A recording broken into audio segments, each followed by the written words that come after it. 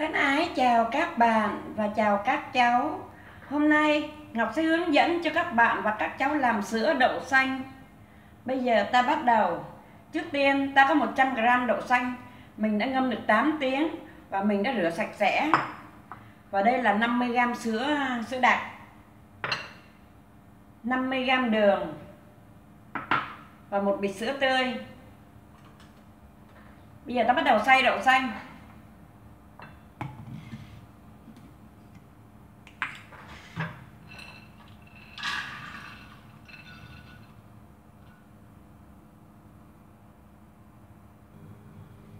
Và đây là 800g nước, ta bắt đầu xay đậu xanh.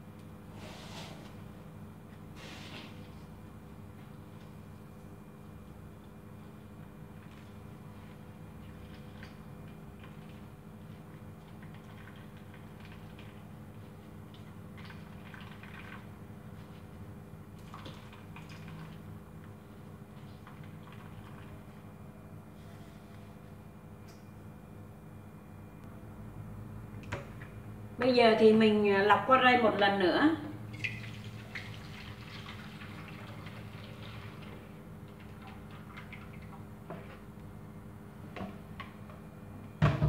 Ta bật bếp lên.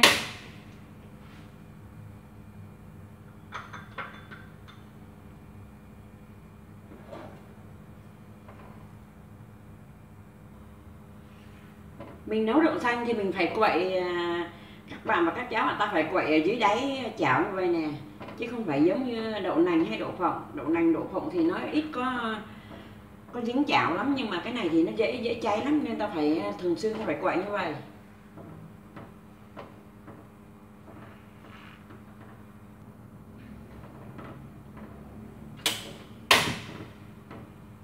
Bây giờ thì nồi đậu xanh của mình đã sôi rồi. Ta đun sôi khoảng 10 phút, là đậu xanh được khi nào sôi gần sôi gần được 10 phút là ta mới bỏ đường và sữa tươi với lại sữa đặc vào.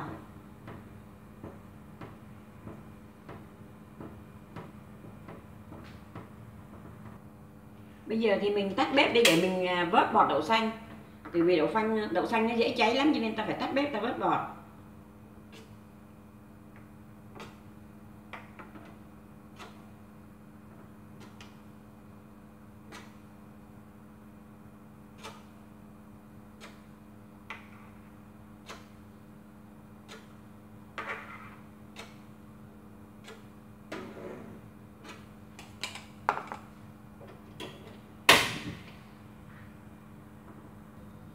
Bây giờ đậu xanh của mình sôi được 10 phút rồi, Ta tắt bếp. Ta bắt đầu đổ đường vào.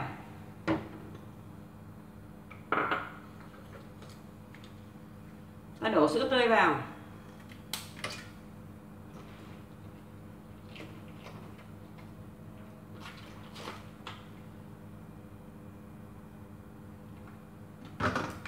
Và ta đổ sữa đặc vào 50g đường 50g sữa tươi. À 50g đường 50g sữa đặc và một bịch sữa tươi không đường.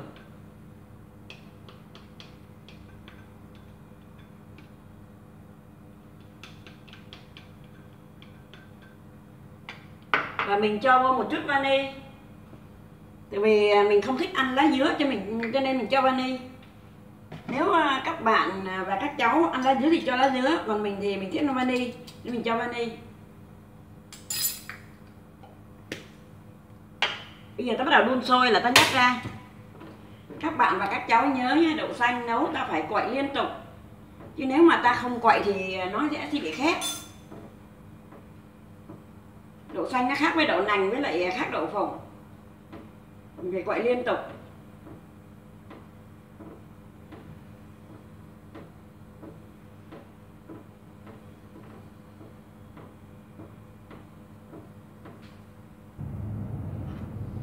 Bây giờ thì sữa đậu xanh của ta đã sôi lại rồi, ta cho đường, cho sữa tươi và cho sữa đặc vào, ta đun sôi rồi, ta bắt đầu tắt bếp. Mình có thể dùng rây, mình rây qua một lần để cho sữa nó mịn hơn. Tại vì cái sữa đậu xanh này nó nó dễ nó dễ nó vón cục lắm, không phải là như sữa đậu nành.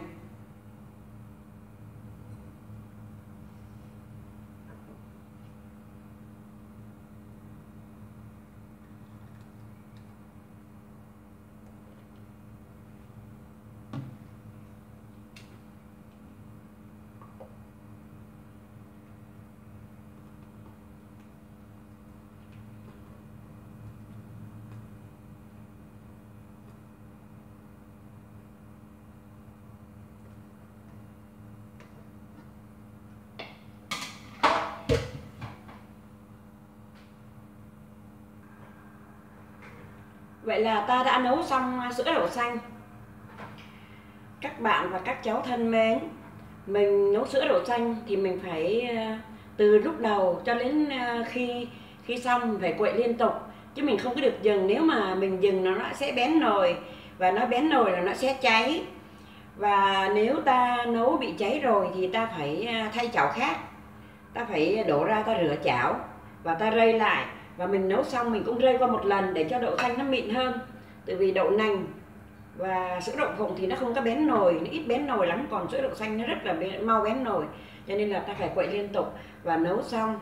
Ta rây qua một lần để cho sữa đậu xanh của mình sẽ rất là mịn không có bị à, là ốc châu nếu có ốc châu thì nó sẽ sạch không ốc châu và tiện đây thì à, Ngọc cũng xin chia sẻ lại cái bánh kẹp hôm trước thì mình à, cũng chưa được nói rõ ràng cho các bạn và các cháu nghe rằng bánh kẹp, mình biết thế nào cũng có các bạn và các cháu làm bánh kẹp sẽ không giòn, sẽ giòn xong rồi về sau sẽ yếu. Thì mình xin nói như vậy, bánh kẹp thì ta phải để lửa nhỏ thôi, ta không được để lửa to. Nếu mà mình để lửa to thì nó rất nhanh cháy và nó không giòn nữa nó ờ, để lửa nhỏ thì nó coi như rút hết nước nó mới giòn được. Chứ còn các bạn và các cháu để lửa to thì nó giòn lúc đầu thôi về sau thì nó sẽ yếu. Và bánh kẹp thì mình không cần phải lật cái chảo đâu. Mình không cần lật cái khuôn đâu mình cứ để cái khuôn ờ, để cái khuôn như vậy rồi để để cái khuôn như vậy. Thì ta lật ờ, cái, cái cái bánh thôi ta không cần lật cái khuôn. Lật cái khuôn này sẽ mỏi tay và nó nặng lắm mình chỉ lật ờ, cái bánh thôi và mình để lửa nhỏ thôi.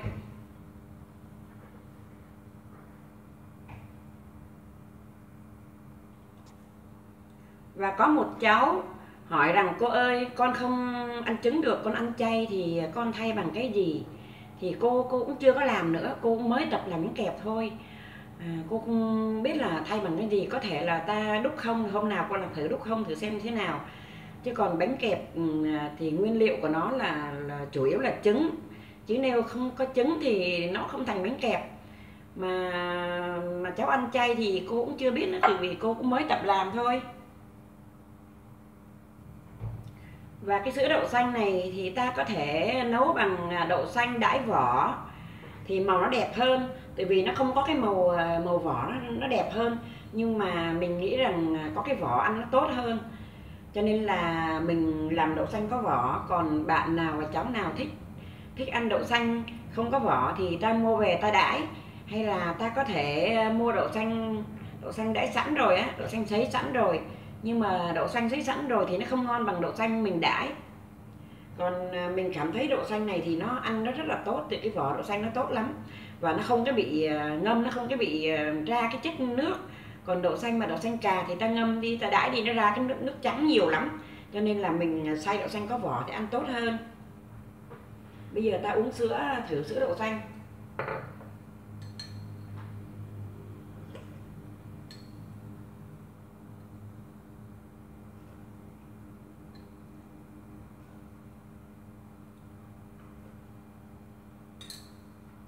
Sữa này mình có thể cho em bé uống được tại vì mình uống mình thấy nó ngon lắm nó là đậu xanh nó rất tốt cho sức khỏe.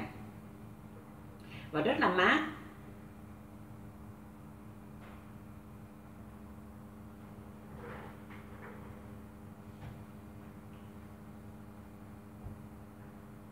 Và bây giờ thì à, cũng còn thời gian nhưng mà thời à, ngoài trời chuẩn bị mưa cho nên là mình à, à, xin tắt máy. Tại vì trời mưa thì quay không có được nó ồn lắm. Vậy là ta đã hoàn thành à, sữa đậu xanh.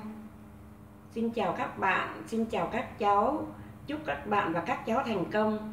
Nếu bạn nào và cháu nào thấy hay thì đăng ký và chia sẻ cho mình.